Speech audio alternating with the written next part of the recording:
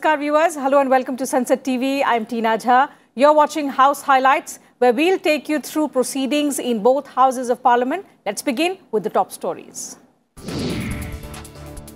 Lok Sabha passes the Constitution Order, Second Amendment Bill 2022. Bill includes some tribal communities in four newly created districts in Uttar Pradesh in the scheduled tribes list. India has broken all previous records in FDI in the last six years, says Union Minister Piyush Goyal. Asserts that favorable policy regime has ensured that foreign capital keeps flowing into the country. The Indian Antarctic Bill 2022 introduced in the Lok Sabha. And during zero hour in Rajya Sabha, members voiced concern over price rise in the country. Also, a call for notification to declare Hindus a minority in Meghalaya. The Constitution, Scheduled Castes and Scheduled Tribes Order, Second Amendment Bill 2022, was passed in Lok Sabha today. The bill aims to include certain tribal communities in the list of scheduled tribes in four newly created districts in Uttar Pradesh. Tribal Affairs Minister Arjun Munda said the bill seeks to include Gond, Dhuria, Nayak, Ojha, Pathari and Rajgond communities living in the districts of Sant Kabir Nagar, Kushinagar, Chandoli and Sant Ravidas Nagar in the list of scheduled tribes in the state. Listen in. आपके समय में नौ तेरह चौदह में 978 करोड़ था अभी 2546 करोड़ है और आगामी आगामी पाँच साल में आगामी पाँच साल में हमने इसमें अट्ठाईस हज़ार करोड़ की व्यवस्था की है। तेरह चौदह के समय में आपका जो total S T C component and budget का प्रोविज़न था, वो इक्कीस हज़ार करोड़ था और अब हमने उसको बढ़ा करके पचासी हज़ार नौ सौ तीस करोड़ किया ट्राइबल रिसर्च इंस्टीट्यूट उसकी संख्या बढ़ाई है, पहले सत्रह था, अभी सत्ताईस कर अगर आप पैरामीटर को देखें और बजट आउटले को देखें और प्रावधानों को देखें तो आपको स्वतः समझ में आ जाएगा कि माननीय नरेंद्र भाई मोदी के नेतृत्व में इस समय देश के वैसे दुरूह क्षेत्र की समस्याओं का समाधान करते हुए। मैं सरकार से कहना चाहता हूँ कि निजी निजीकरण बंद करे ताकि आदिवासियों का आरक्षण भी सुरक्षित हो। वर्तमान में एसटीएससी का आरक्षण लगातार मीडिया के माध्यम से, विभिन्न संगठन के माध्यम से आती है माननीय सभापति महोदय। इसलिए मैं कहता हूँ, हमारा आरक्षण आज भी खतरे में है। आज भी खतरे में। इन गौड़ समाज की, धुरिया समाज की खरवार की जनगणना हुई थी तो आज फिर इनकी इस तरह से एक स्पष्ट जनगणना हो, ट्राइबल्स है, और इनको एस सी से एस में रखने का काम हमारी सरकार अगर कर रही है तो एक उनको निश्चित तौर से उनके हक और हकूक की हिफाजत होगी, अगर इन सारे जनपदों में होगा। So I would like to say that protection of women beyond the division of caste should be the priority of the nation. Sir, coming to the front of reservation, though there are regulations to ensure the same, they are being flouted repeatedly and the government is hardly taking any step to curb the unconstitutional incidents. Uh, for, uh, was uh, formed to study the social, economic and educational conditions of Muslims in India. The Ranganath Misra Commission report was submitted to the Prime Minister's office on 21st May 2007, which had recommended strongly in favor of inclusion of Dalit Christians into the list of scheduled castes.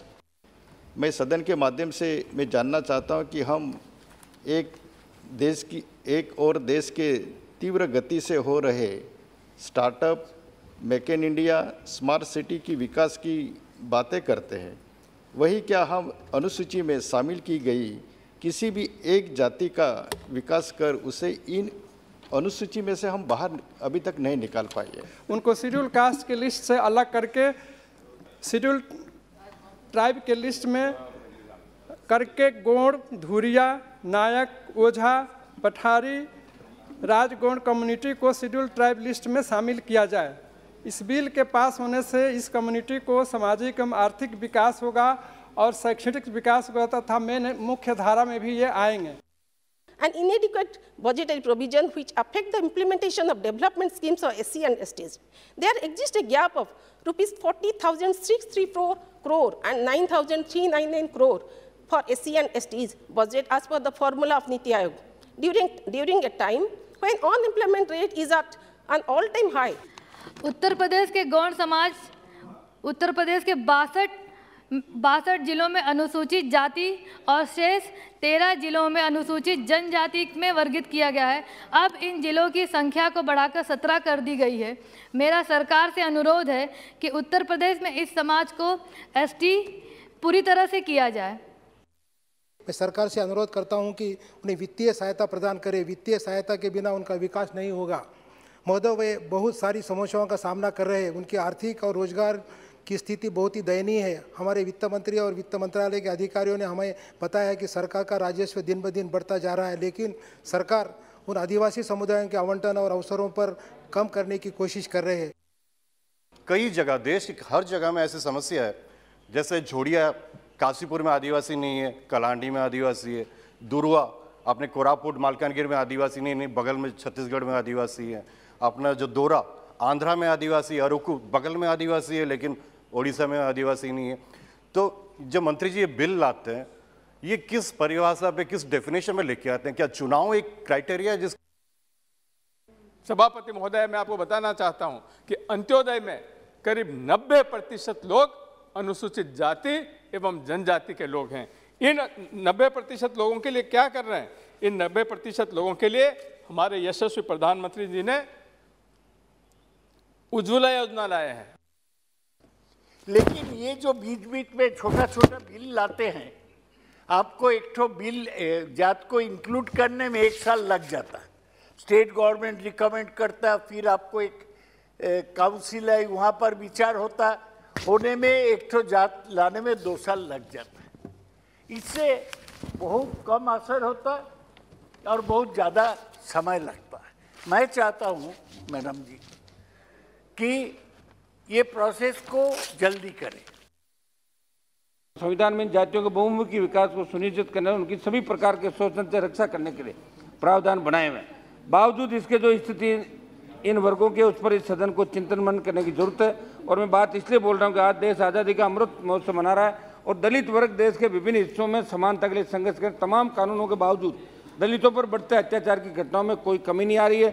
समझ मुझे आज भी जनजाति समुदायों का एक बहुत बड़ा वर्ग निरक्षर है।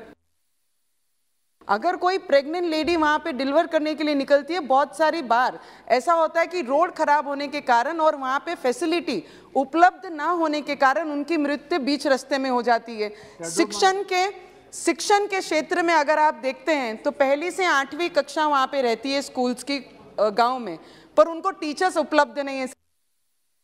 6 अप्रैल को भारतीय जनता पार्टी का स्थापना दिवस आना है।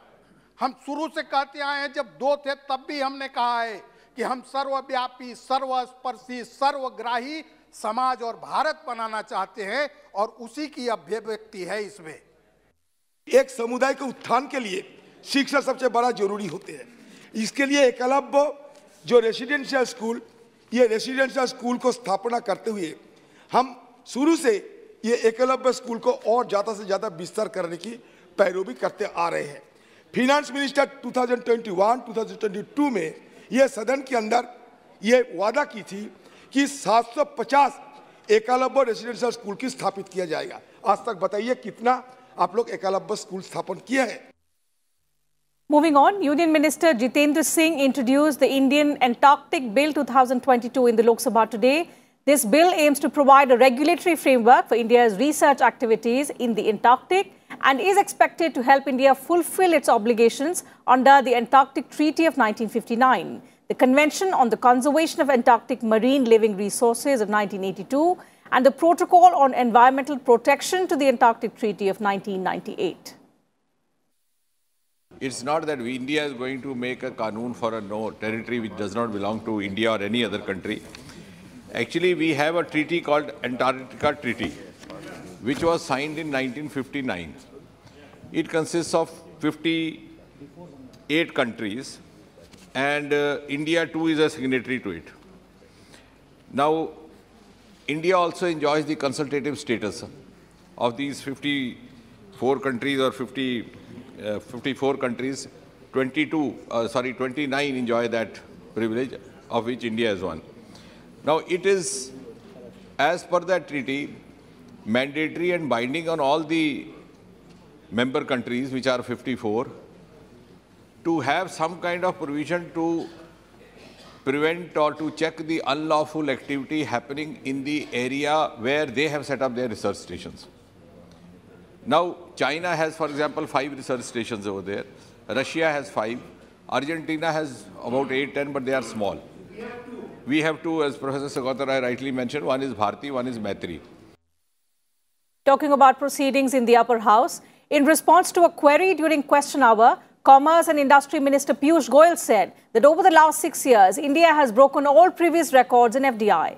He also said that the government's favorable policy regime and robust business environment has ensured that foreign capital keeps flowing into the country. Listen. What are the measures being taken by the government to attract foreign investment? And also, what sort of a incentives that are being provided to ensure that we become uh, a globally competitive industrial uh, country. As regards promoting foreign direct investment or foreign investment, I'm happy to share with the House through you, sir, that over the last six years, every year, we have broken all previous records. So every year has been a record foreign direct investment, year after year, including the COVID period. And I think it's a matter of great pride for every Indian. All the honorable MPs in the House, outside the House, and for 135 crore Indians, that today the world sees India as a preferred destination. Now they don't ask why India, they said it has to be India. We are expediting our engagement with international investors. We have entered into an FTA, Comprehensive Economic Partnership Agreement with UAE, which has encouraged businesses on both sides to look at greater degree of engagement. Discussions are going on with UK, EU, Canada, Australia, Israel. Many countries are looking forward to expanding their engagement with India. And during zero hour in Rajya Sabha, members raised matters of urgent public importance. Members voiced concern over price rise in the country, raising the issue. Member John Brittas of the CPIM raised the matter of 11% price hike on essential items. While member Shanta Chhetri of the Trinamool Congress urged the Ministry of Home Affairs to issue a notification to declare Hindus a minority in Meghalaya. V. Shivadasan, MP from CPIM, raised the issue of the digital divide during zero-hour discussion in the House. Listen in. The wholesale price of drugs of more than 800 items, which are essential for our survival, is being increased by 11%. So this is unprecedented. There has been no such steep increase in the past. When the whole country is passing through a health emergency, this should have been avoided. And I would urge upon the government to withdraw this steep hike. Thank you. Sir, if Hindus are in minority in a particular state, they should be able to establish and administer educational institution of their choice in keeping with the rights guaranteed to the minority by the constitution as per the center. I humbly urge the August House to draw the kind attention of the Honorable Home Minister to urgently direct the Meghalaya government to grant minority status to Hindus via notification as per Article 29 and 30 of the Constitution of India. Thank you, sir. The government of Odisha has requested the union government for railway connectivity between Malkangiri to Bhadrachalam 150 km and Navrangpur to Junagarh 118 km, which will be immensely helpful for the socio-economic uplift of the tribal populace and also for countering left-wing extremism in the region. I would like to urge, uh, uh, uh, I would like to urge you, sir, and also the government to enable a constitution of an institution, an association of former members of parliament as an alumni institution with no cost to the exchequer which is what in most countries it, it, only has a recognition of the par parliament but no cost to the exchequer which can organize an annual meeting of all the former members. In this modern period, The digital device are the essential instrument for education, but millions of students are unable to use it because of their social and economic backwardness. In rural and Adivasi areas, huge number of schools are running without electricity. If electricity is not there, how can they use computer and other digital devices? The ASER 2021 report says that 74% of the children in India are not, doesn't, does not have the access to smartphone and the percentage is even worse in the states like Rajasthan, Uttar Pradesh, Bihar and West Bengal, which is below 20%. It is a duty of the union government to ensure that every Indian should have access to free internet. And the Rajya Sabha also discussed a private member's bill on population control that was moved by BJP MP Rakesh Sinha. During the discussion on the Population Control Bill 2019, Union Health Minister Mansukh Mandaviya said the government follows a holistic approach towards healthcare. And following the discussion in the House, Rakesh Sinha withdrew the bill. He claims that for everything of the country's development which is prohibiting it, children and the population are the main hindrance, which is not true. Sir, poverty is the main reason. Recent studies from the National Family, uh, Family Welfare Survey and others show that the total fertility rate has evened out. We are reaching what is called the replacement fertility rate, which means we will go down in population, everybody knows it. But we need to target on the ninth state, but I am against a revised national population policy, especially where you say that it it'll lay special stress and go in for any type of actions. Sir, one thing we are not able to be rejoiced by way of achieving the first place is only this. Because of the increase in population, when the area, geographical area is, remains the same, whereas the population is increasing, many issues crop up along with that. When we compare the European countries, how they are flourishing, because their resources are more, but their population is very less, their living area is vast.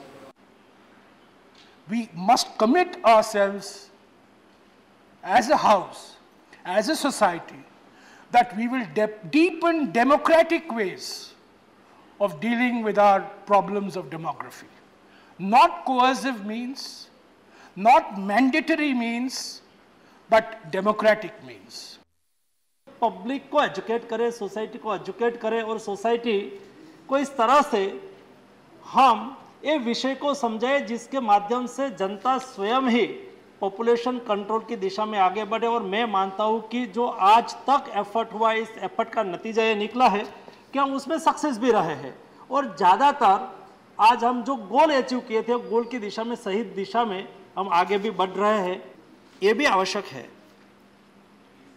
कि हम population control की बात करें। Health care सुविधा उसको उपलब्ध कराएँ affordable और एक्सेसिबल हेल्थ केयर करें।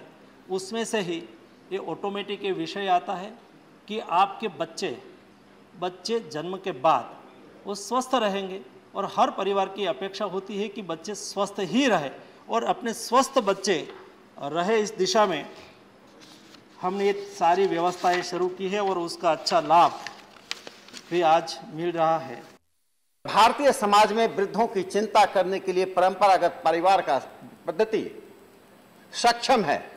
जहाँ जहाँ परिवार की पद्धति समाप्त हुई है, जिसको हम पुनर्जागृत करना चाहते हैं, कुटुंब प्रबोधन के नाम पर, वही वही समस्या आई है और भारतीय समाज इसके लिए जागरूक है कि हमारी स्थिति वह नहीं हो कि अमेरिका के वृद्ध को गोवा में रखकर उनकी सेवा करवाई जाए और हमारे मजदूर अरब कंट्री में जाकर वहाँ वहाँ से पैसा लाने के लिए मजदूरी करने जाए। हम दोनों ही स्थिति को लाना नहीं चाहते हैं। सभापति महोदय, मैं, सभापति महोदय, मैं मैं मैं अपने बिल को विड्रॉ करता हूँ। And that's it from us bulletin thanks very much for your time good night